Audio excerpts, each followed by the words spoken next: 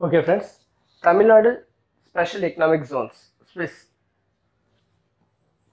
சரி ஓகே இப்போ வந்து ஸ்விஸ்னா நம்ம என்ன பார்த்தோம்? தமிழ்நாடு ஸ்பெஷல் எக்கனாமிக் ஜோன் அப்படின்னு தனியாக பார்ப்போம்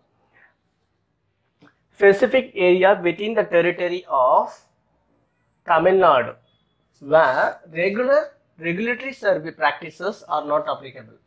அதாவது within the territory of Tamil Nadu Tamil Nadu உள்ள ஒரு குறிப்பிட்ட area specified area where regular regulatory practices are not applicable applicable என்ன அப்ளிகேபிள் ஆகாதுன்னு பார்த்தீங்கன்னா எல்லா இடத்துலையும் ஒரு ரெகுலேட்டரி ப்ராக்டிஸ் இருக்கும். அதாவது ஒழுங்குமுறை.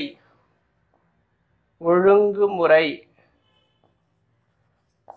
அதான் அந்த மாதிரி ப்ராக்டிஸ் வந்து ஒழுங்குமுறை ப்ராக்டிஸ் இருக்கும். உதாரணத்துக்கு வந்து ஒரு டேக்ஸ் சம்மந்தமான விஷயம் இருக்கலாம் இல்லை வந்து கன்செஷன் அதாவது மானியம் சம்மந்தமான விஷயம்லாம் இருக்கலாம். இந்த மாதிரி விஷயம்லாம் வந்து எல்லா இடத்துலையும் வந்து கொடுக்க மாட்டாங்க. ஒரு குறிப்பிட்ட ஏரியாவில் தான் கொடுப்பாங்க. அதை தான் அவன் மென்ஷன் பண்ணுறான் அதுதான் தமிழ்நாட்டில் ஒரு குறிப்பிட்ட ஏரியாவில் வந்து அந்த இடத்துல எந்த ஒரு ரெகுலராக ரெகுலராக வந்து பாஸ் பண்ணுற எல்லா எந்த ப்ராக்டிஸும் அங்கே பாஸ் பண்ண மாட்டாங்க. அதுக்குன்னு ஸ்பெஷலாக இருக்கான்ற ஸ்பெஷலாக கொடுத்து கொடுத்துருப்பாங்க. அதான் இதோட meaning okay for economic and industrial development of the state economic and industrial டெவலப்மெண்ட்னா பொருளாதார சம்மந்தமானதும் சரி இல்லை தொழில் சம்மந்தமான வளர்ச்சி அந்த ஸ்டேட்டுக்குள்ளே இருக்கும். நான் ஏற்கனவே சொல்லியிருக்கேன். அந்த சுவிஸில் மோ மோஸ்ட்லி இந்த பாயிண்ட்ஸ்லாம் பார்த்தீங்கன்னா ஒரு ஃபஸ்ட்டு ஸ்டார்டிங்கில் இருக்கிற பாயிண்ட்ஸ்னால் நம்ம சுவிஸ் ஆக்டில் ஃபாலோ பண்ண ஃபாலோ பண்ண பாயிண்ட்ஸாக தான் இருக்கும். நீங்கள் பாருங்களேன் இந்த இடத்துல வந்து economic and industrial development of the state அங்கே பார்த்தோம்ல. அதே மாதிரி helps bringing money into the state and creates employment same தான்.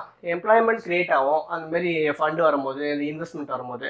அந்த பிரிங் மணி தான் நம்ம இன்வெஸ்ட்மெண்ட் அந்த மணி மணி வந்து ஒரு ஸ்டேட் வந்துச்சுன்னா இந்த ஸ்டேட்டுக்குள்ளே அந்த மணி வந்துச்சுன்னா இன்வெஸ்ட்மெண்ட் வந்துச்சுன்னா அது மூலிமா வந்து தொழில் நல்லா டெவலப் ஆகும். அதேமாதிரி எம்ப்ளா எம்ப்ளாய் எம்ப்ளாய்மெண்ட் ஆக்டிவிட்டீஸும் இன்க்ரீஸ் ஆகும்.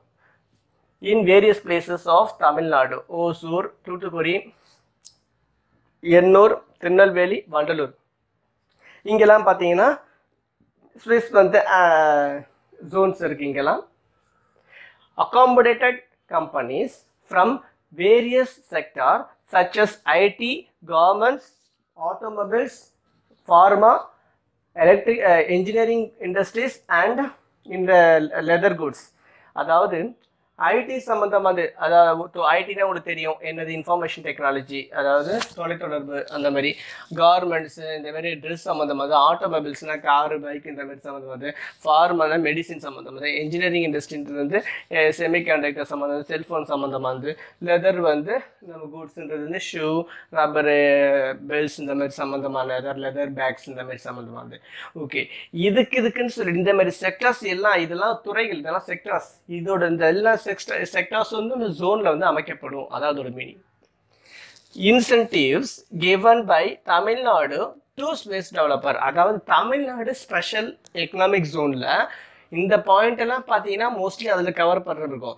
பட் தமிழ்நாடு ஸ்விஸ் டெவலப்பருக்கு என்ன கொடுக்குறாங்க? அந்த மீனிங்கில் தான் இதை நம்ம எடுத்துக்கிறோம். இன்சென்டிவ்ஸ் அதனால தான் நம்ம வந்து இந்தியாவில் வந்து இருபத்தொம்போது ஸ்டேட் இருந்தாலும் நல்ல டெவலப்டு ஸ்டேட்டில் பார்த்தீங்கன்னா நம்ம டாப் ஃபைவ்ல எல்லாத்துலேயும் வந்துடும் அதுக்கு காரணம் ஸ்விஸ் நல்லா வந்து கரெக்டான டைமில் வந்து நம்ம ஓப்பன் பண்ணது தான் ஸோ தமிழ்நாட்டில் ஏன் வந்து ஸ்விஸ் டெவலப்பர் வந்து இன்வெஸ்ட்மெண்ட் பண்ண ஆசைப்படுறாங்கன்னா இன்சென்டிவ்ஸ் வந்து தமிழ்நாட்டில் அதிகமாக இருக்கும். அது எப்படிப்பட்ட இன்சென்டிவ்ஸ் கொஞ்சம் பார்ப்போம். சிங்கிள் விண்டோ கிளியரன்ஸ் அதாவது என்னன்னா சிங்கிள் விண்டோ கிளியரன்ஸ் நிறைய இடத்துல இந்த இந்த வார்த்தையை நீங்கள் ஃபாலோ பண்ணுறீங்க ஒரு பேங்க்கில் போனாலும் சரி இல்லை வந்து ஒரு போஸ்டல் ஆஃபீஸு இல்லை வந்து எனி பாஸ்போர்ட் சர்வீஸ் எக்ஸட்ரா அப்படி சொல்லிகிட்டே போகலாம் government sector company single window clearance போட்டிருப்பான்.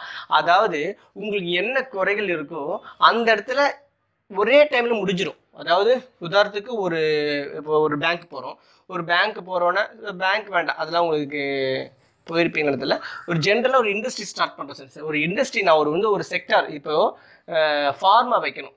ஃபார்மா இண்டஸ்ட்ரியை வந்து இந்த ஜோனில் வைக்க போகிறேன்னா நிறைய ரூல்ஸ் இருக்குது அதாவது என்விரான்மெண்டல் சம்மந்தமான விஷயத்துக்கு என்ஓசி வாங்கணும்.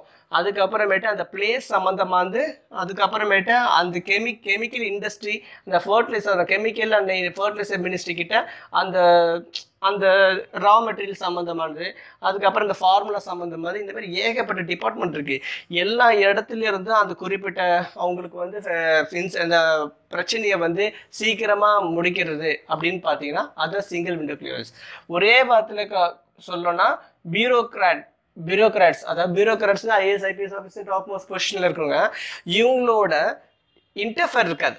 இன்டர்ஃபர் இல்லைன்னா அப்போ என்ன ஆகும்னா ஏற்கனவே நம்ம சொன்ன மாதிரி இந்த இந்த மாதிரி நிறைய வந்து ரூல்ஸ் அண்ட் ரெகுலேஷன் இந்த பியூரோக்ராட் கையில் இருக்கிறனால தான் கரப்ஷன்றது வந்து ஒரு லீடாகவே இருக்குது ஸோ இந்த மாதிரி ஒரே இடத்துல எல்லா வேலையும் முடியும் போது ஆட்டோமேட்டிக்காக கரப்ஷன்ற ஒரு வார்த்தை வந்து இங்கே அடி வாங்குது. ஸோ அதான் இதோட மெயின் கோலு அப்புறம் easy and convivial where to the developers தான் இதோட அடுத்த point exempt from taxes turn over taxes sales tax VAT. அதாவது எக்ஸம்டட் ஃப்ரம் டேக்ஸஸ்னா டேக்ஸ் கமிஷன் ஏற்கனவே சொன்ன மாதிரி இங்கே கொடுக்குறோம். அது எப்படி? டேர்ன் ஓவர் டேக்ஸ் கொடுக்குறோம். அது டேர்ன் ஓவர்னா ஒரு வருஷத்தில் வந்து அந்த கம்பெனி வந்து எவ்வளோ வந்து ப்ரொடக்ஷன் பண்ணி எக்ஸ்போர்ட் பண்ணிச்சோ இல்லை வந்து டொமஸ்டிக் செல் பண்ணிச்சோ எக்ஸெட்ரா அந்த மாதிரி பண்ணுச்சுன்னா அது டேர்ன் ஓவர்னு இருக்கும். மொத்தம் ப்ராஃபிட் அண்ட் லாஸ் எல்லாமே சேர்த்து. அப்போ அப் அதை தான் வந்து டேர்ன் ஓவர் அது அதுக்குள்ள அதில் அதில் ஒரு டேக்ஸை கட்டணும். ஆனால் இவங்க கட்ட தேவையில்லை. சேல்ஸ் டேக்ஸ் அதாவது சேல்ஸ் பண்ணனா அதோட டேக்ஸ் இல்லை. வேட் வேட் வந்து உள்நாட்டு வரி அதுவும் இல்லை. நான் ஏற்கனவே சொன்ன மாதிரி ஸ்பெஷல் எக்கனாமிக் ஜோன் சொல்லிட்டு இது எப்படி கன்சிடர் டெசிக்னேட் பண்ணோம்னா எ டெரிட்டரி ஆஃப் ஃபாரின் அப்படின்னு பார்க்கணும். ஃபாரின் டெரிட்டரின்னு மென்ஷன் பண்ணுறோம் ஃபாரின் டெரிட்டரினாவே இப்போ லோக்கல் டேக்ஸ் சம்மந்தம் வந்து எல்லாமே அவாய்ட் ஆகிடும் அப்படின்னு ஞாபகம் வச்சுக்கோங்க. No stamp duty and registration fees towards land transaction ஒரு லேண்டை வந்து ஒருத்தர்கிட்ட இருந்து இன்னொரு இடத்துல இப்போ ஒரு ஸ்விஸ் டெவலப்பர் வந்த உடனே அந்த லேண்டை வாங்கி தானே அவர் வந்து அந்த அவர் டெவலப் பண்ண முடியும். அந்த இடத்துல வந்து தன்னோட செக்டர் வைக்க முடியும். ஸோ அப்போ ஒருத்தர்கிட்ட ஒருத்தர் வாங்கும்போது அப்போ வந்து அந்த ஸ்டாம்ப் டியூட்டி இருக்குது ரெஜிஸ்ட்ரேஷன் ஃபீஸ்லாம் இருக்குது அதெல்லாம் வந்து இல்லை இவங்களுக்கு. இது முக்கியமான ஒரு பாயிண்ட்டாக பார்க்கலாம்.